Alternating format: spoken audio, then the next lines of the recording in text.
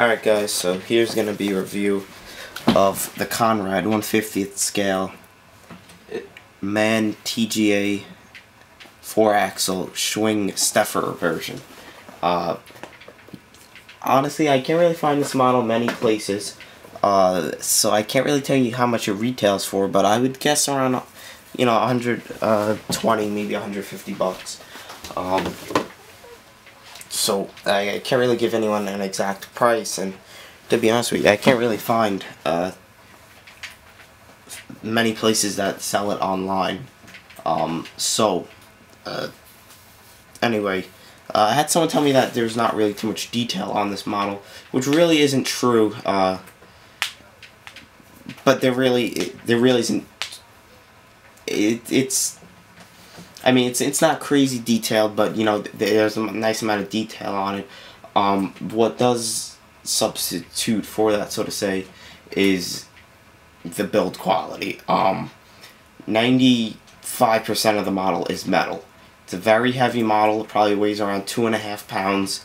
Um, and it, it really does make up for um, not uh, as much detail as some people would want, so to say. So, uh, you can see the model is a twin steer, which makes it extremely cool.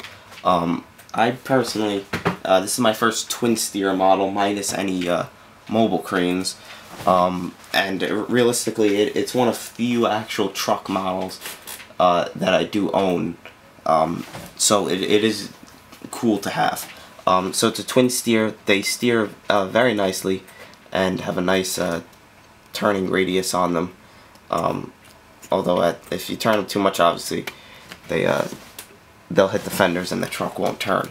Uh, front of the model, you can see um, has of, of you know a, a, nice amount of detail. Um, the front bumper over here is plastic, um, but it has all uh, lights and uh, what the real truck would have. See the front of the cab has the MAN decal, um, which is also plastic, but uh, everything that's painted white on the front of the cab is metal.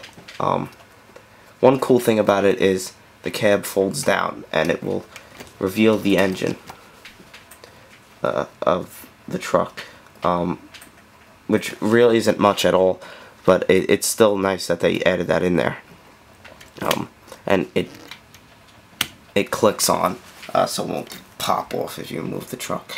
Uh, you can see uh, the inside of the truck really isn't anything special. Um,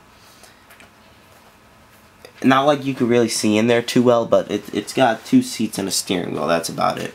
The mirrors, uh, you actually have to put those on yourself. Uh, they just do that so they won't break uh, when it, it's getting delivered to you. Um, tires, um, that we already established the point that it's a twin steer, but the rims are nice. Uh, you know, they have a nice shine to them and they're etched through, which is really cool.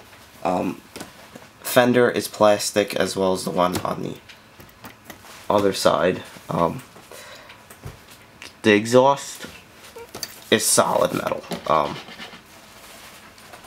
um, com completely metal, no plastic at all. Um, and getting to the rest of the model over here. I'll show you the back tires now. Um, rim's pretty much the same as the front. These seem like they don't have as much shine as the front. Uh, this fender right here is metal and it has an extra chute there. And then the back fender is also metal and has another chute. Um, and has another tank right there. You can see the truck has the motor for the drum right here and uh, that is metal as well um, and it it's has a great great paint fi paint finish to it. Uh, I, I, like it a lot um, this especially the color of it. Um, not too much detail obviously but still uh, very very nice.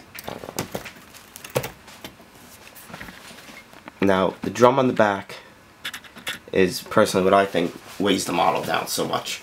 Um, I don't want to say it's solid because it you could tell from the line in the middle it, it's two parts but um, it, it is very heavy um, and it, it does spin any which way you want um, as many times as you want. You can sit there and spin it all day. Um,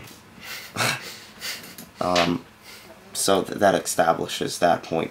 Um, one, one thing that, you know, obviously it doesn't really matter to me, but I guess it would to some people, it isn't hollow on the back, um, like a real one would be, but it doesn't matter to me, I don't know if it would to others, um, but just throwing that out there since it is the review.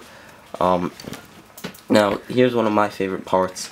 Um, you can see the ladder to access the top of the drum is all metal. Um, all die cast painted really nicely, which is really really nice. I mean, if if it was would have been plastic, I still would have liked it, but since it's metal, I like it ten times more.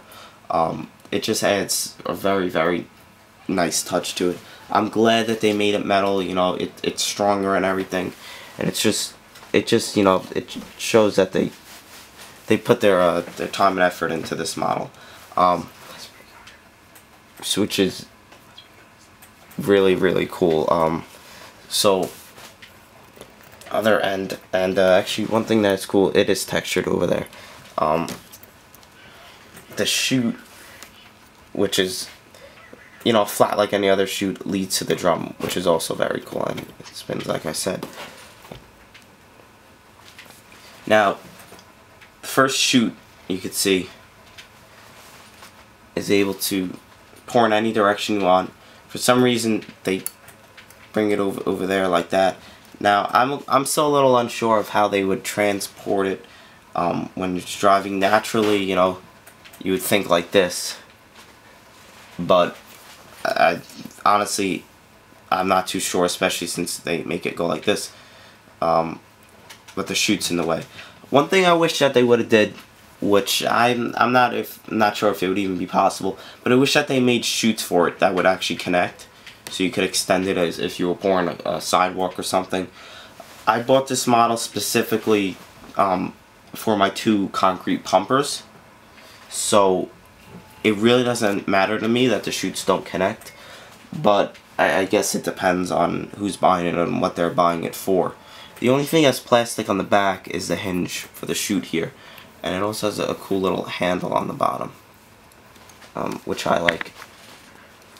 Back of the truck you know has the reverse lights and the bumper um, and the right side of the rig. It really isn't any different. So as you can tell it uh,